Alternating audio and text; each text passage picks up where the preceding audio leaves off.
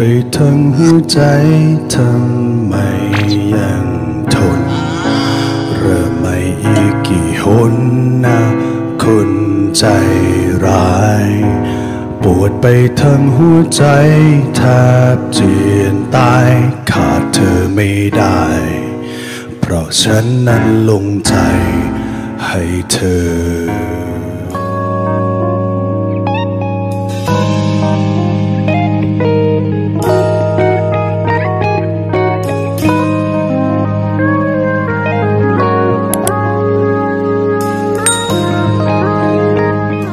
จากคลิปที่ผ่านมานะครับ นักเรียนได้เรียนรู้เกี่ยวกับสีสันของเสียงดนตรีกันไปแล้ว ในคลิปนี้เรามาเรียนรู้เกี่ยวกับสีสันของเสียงมนุษย์กันบ้างนะครับ 2. สีสันของเสียงมนุษย์ เสียงพูด เนื่องจากคนเรามีความแตกต่างกันหลายอย่างนะครับ ไม่ว่าจะเป็นรูปร่างหน้าตาและอื่นๆ รวมถึงเสียงพูดของแต่ละคนไม่เหมือนกันนะครับ ทำให้เสียงขับร้องแตกต่างกันไปด้วยนั่นเอง เสียงของคนเราเกิดจากการสั่นสะเทือนของเส้นเสียงที่อยู่ในลำคอ และอาศัยอวัยวะส่วนอื่นๆ ช่วยปรับเสียงให้มีระดับเสียงสูงและเสียงต่ำตามต้องการนะครับ การที่คนเราสามารถปรับเสียงให้มีระดับเสียงสูง และเสียงต่ำได้นั้นนะครับ ทำให้สามารถเรียนแบบเสียงต่างๆ รอบตัวเราได้ใกล้เคียง และมีลักษณะเป็นเสียงดนตรีชนิดหนึ่งด้วยนะครับ ดังนั้นคนเราจึงสามารถขับร้องเพลงได้นั่นเองครับ คุณครูมีคลิปวิดีโอ อธิบายเกี่ยวกับเส้นเสียงของมนุษย์นะครับ ไปดูกันเลยครับ ต้องรู้กันว่าเส้นเสียงนั้นทำงานอย่างไร นะครับคุณจะรู้จักเส้นเสียงมันทำงานอย่างไรได้นั้น คุณจะเห็นมันได้ยังไงครับต้องไปโรงพยาบาลครับผมเป็นคนหนึ่งครับที่มีประสบการณ์กับการไปโรงพยาบาลเพื่อไปตรวจเส้นเสียง ไปเช็คอัพร่างกายอยู่บ่อยๆนะครับโรงพยาบาลที่ผมจะไปบ่อยที่สุดก็คือโรงพยาบาลวิชัยยุทธครับผมจึงรู้จักเครื่องไม้เครื่องมือ ที่จะเข้าไปส่องดูสายเสียง หรือเส้นเสียงนะครับเส้นเสียงภาษาอังกฤษเรียกว่า vocal cord นะครับหรือเรียกอีกอย่างว่า vocal fold หรือสายเสียงนั่นเองเครื่องไม้เครื่องมือที่จะเข้าไปดูได้และ คนที่เป็นเอ่อเจ้าของเส้นเสียงจะเห็นได้ด้วยนั้นจะต้องเป็นเครื่องมือเมื่อส่องกล้องแล้วจะเห็นสิ่งนี้นะครับกล้องที่นักเรียนได้ห็เห็นไหมครับ เส้นเสียงที่ตีกันอยู่นะครับยกขาวสองสองเส้นนะครับ Okay, do that same pitch soft. Good. Do that pitch loud. ตำแหน่งของเส้นเสียงอยู่ตรงนี้เลยครับ ถ้าเราใช้ถ้าคุณเป็นผู้ชายนะครับ คุณใช้นิ้วมือจับนะครับคุณจะเห็นสิ่งหนึ่งที่เรียกว่ากระเดือกนั่นเองนะครับกระเดือกหรือภาษาอังกฤษเรียกว่า Adam's apple เส้นเสียงหรือสายเสียงนะครับมีลักษณะเป็นกล้ามเนื้อครับเวลาที่มันกระทบกันนะครับ กล้ามเนื้อมันก็จะแบ่งง่ายๆ ออกเป็น 3 ชั้นนะครับชั้นในสุดก็เป็นกล้ามเนื้อครับที่เป็นตัวบีบบังคับนะครับให้สายเสียงมัน ติดกันหรือออกห่างจากกัน ชั้นกลางจะมีลักษณะเป็นเอ็นครับ เป็นตัวที่ประคองนะครับ ชั้นในสุด ชั้นในสุดคือคีย์เลยครับ คือหัวใจเลยครับ ชั้นในสุดเป็นชิ้นส่วนที่มีลักษณะบอบบางและพลิ้วไหวครับ จบลงไปแล้วครับ คลิปวิดีโอจากพี่เจมส์เรืองศักดิ์นะครับ ขอบคุณนะครับพี่เจมส์ได้อธิบายให้นักเรียนนะครับ ได้รู้จักเส้นเสียงให้มากขึ้นนะครับ หลังจากที่นักเรียนได้เรียนรู้เกี่ยวกับการทำงานของเส้นเสียงในลำคอกันไปแล้วนะครับ ต่อไปเรามาเรียนรู้เกี่ยวกับเสียงขับร้องกันบ้างครับ เสียงขับร้อง เสียงขับร้องของคนแต่ละคน มีความแตกต่างกันตามเพศ และวัยนะครับ ในหลักการทางดนตรีจะแบ่งเสียงขับร้องออกเป็น 4 ประเภท คือ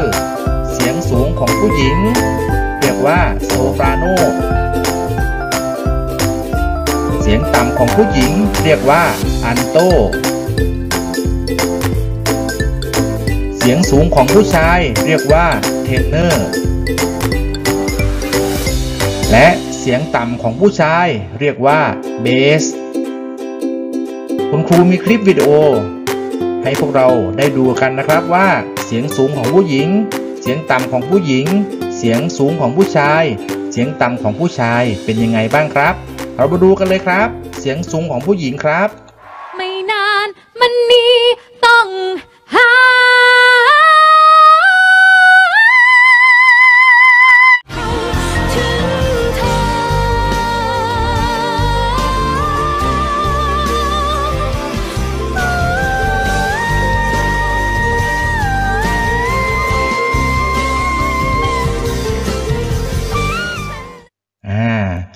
คือเสียงสูงของผู้หญิง หรือเรียกว่าโซปราโนนะครับ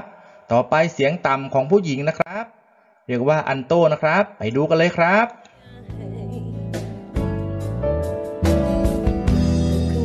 แล้วมองกระจกที่สะท้อนแสงจันทร์วันเพ็ญคือความเงาคือเงาที่พูดไม่เป็นเพลงเพลงเดิมๆที่เรา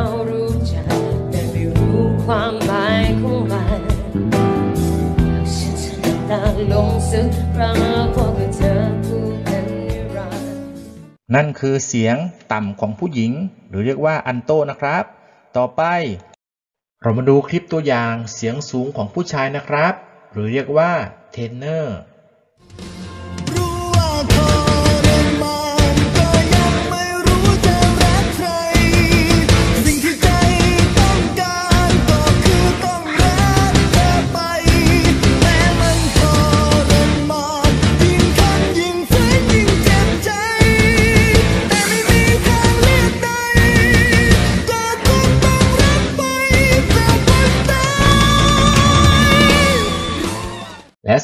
นะครับ มาดูคลิปตัวอย่าง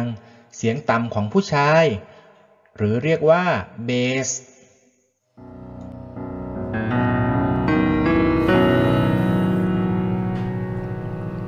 โอ้ยเจ็บไปทั้งหัวใจทำไมยังทน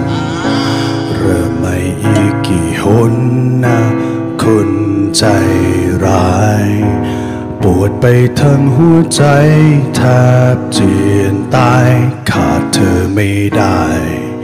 เพราะฉันนั้นลงใจให้เธอ อวัยวะที่ช่วยปรับเสียงคนเราให้มีระดับเสียงต่างๆ มีดังนี้ครับ 1. บริเวณลำคอและสวงอก จะช่วยขยายเสียงในระดับเสียงต่ำครับ 2. บริเวณลำคอและโพรงจมูก จะช่วยขยายเสียงในระดับเสียงกลางครับ 3. บริเวณหน้าผากและโพรงกะโหลกศีรษะ จะช่วยขยายเสียงในระดับเสียงสูงครับ และแล้วเราก็มาถึงกิจกรรมพัฒนาการเรียนรู้ที่ 2 ในหน้า 7 นะครับ มีทั้งหมด 2 ข้อ แต่คุณครูจะให้ทำแค่ 1 ข้อ คือข้อที่ 1 ข้อเดียวนะครับ ข้อที่ 1 นะครับคำชี้แจงหรือคำสั่งนะครับ ฟังดีๆนะครับ ให้นักเรียน ฟังเสียงนักร้องที่คุณครูกำหนดให้ แล้วบอกลักษณะของเสียง โดยให้ขีดเครื่องหมายถูก ลงในช่อง ตารางนะครับ ที่เป็นเสียงสูง เสียงต่ำ หรือว่าเสียงอื่นๆนะครับ มีทั้งหมด 5 ข้อนะครับ 5 ข้อนี้จะมีเสียงนักร้องนะครับ ให้นักเรียนได้ฟังแล้วก็ให้ตอบโดยขีดเครื่องหมายถูกลงในช่องตารางนะครับ เข้าใจไหมครับนักเรียน ถ้าเข้าใจแล้วเราไปฟังเสียงในข้อที่หนึ่งเลยครับ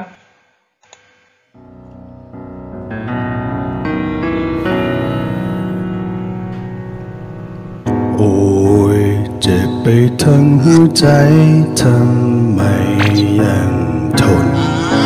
เริ่มไม่อีกกี่หนนะคนใจร้าย ปวดไปทั้งหัวใจแท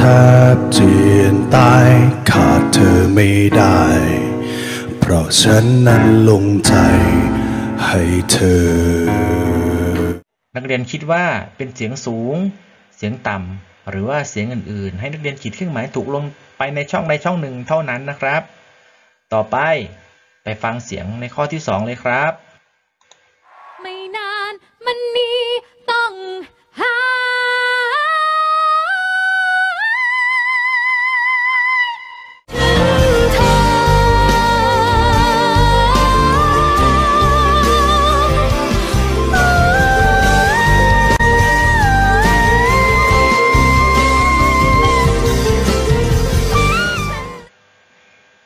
ยังไงบ้างครับ ในข้อที่ 2 นักเรียนคิดว่า เป็นเสียงสูง เสียงต่ำหรือว่าเสียงอื่นๆครับ ขีดเครื่องหมายถูกลงในตารางนะครับ ต่อไปข้อที่ 3 ไปฟังกันเลยครับคนเดียวแล้วมองกระจกที่สะท้อนแสงจันทร์วันเพ็ญกับความเหงาอยู่กับ เงาที่พูดไม่เป็นเพงเพลงดังเดิมที่เรารู้จักแต่ไม่รู้ความหมายของมันฉันจะตาลงสักครั้งพอกับเธอพูดกันนิรันดร์นั่นคือ เสียงในข้อที่3นักเรียนคิดว่าเป็นเสียงสูง เสียงต่ำหรือว่าเป็นเสียงอื่น ๆ ให้เรียนขีดเครื่องหมายถูกลงไปตามช่องตารางนะครับ ต่อไปเสียงในข้อทีสี่4ครับ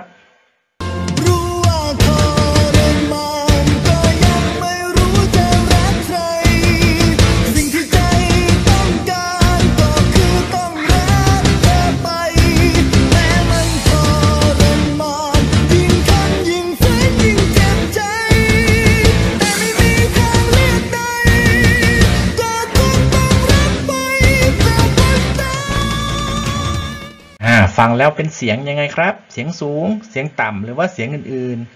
ๆ ขีดเครื่องหมายถูกลงไปตามตารางนะครับ ต่อไปข้อสุดท้าย ไปฟังกันเลยครับ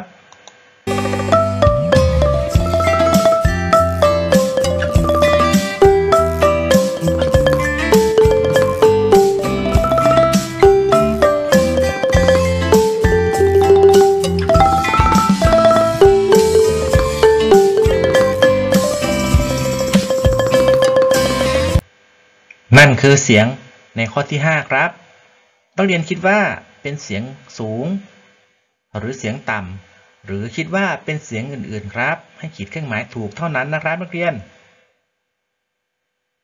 ทำหรือยังครับ